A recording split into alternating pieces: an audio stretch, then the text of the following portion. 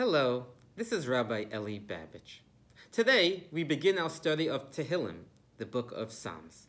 We do so with the yearning that our study together should serve as a source of protection and health for all.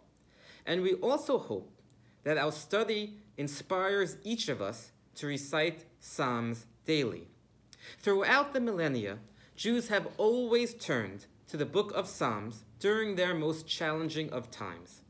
Today should be no different. The book has been a source of light during times of darkness, a basis of hope during times of despair.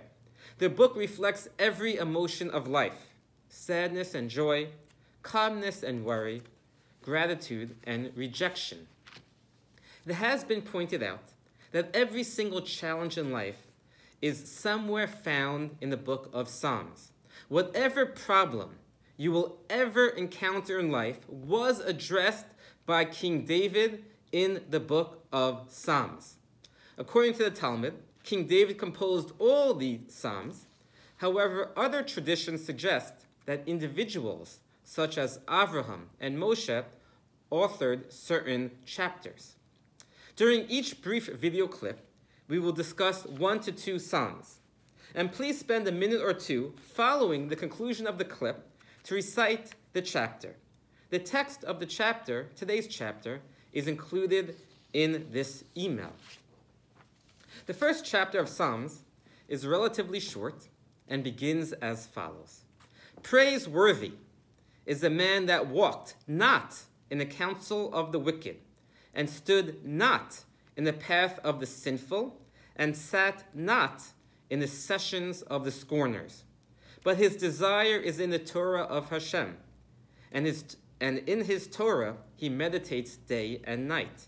He shall be like a tree, deeply rooted alongside brooks of water, that yields fruit in due season, and whose leaf never withers, and everything that he does will succeed.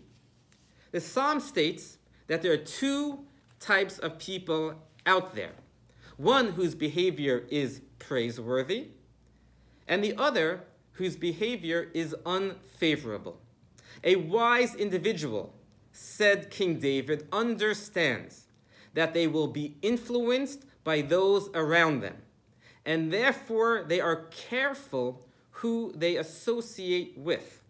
Just like today, we are highly cautious, all of us, who we interact with, lest we be affected by them. So too throughout life, says King David, we must likewise consider who we interact with, lest we be influenced negatively by their behavior. Ultimately, our goal should be to come close to God's Torah.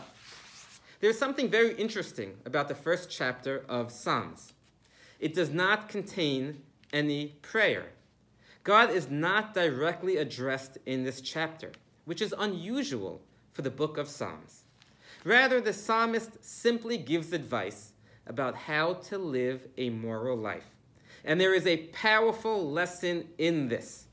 If we want God to hear our prayers, if we want God to have mercy upon us, then we first need to make sure our behavior itself is honorable. We first need to make sure our hands are clean.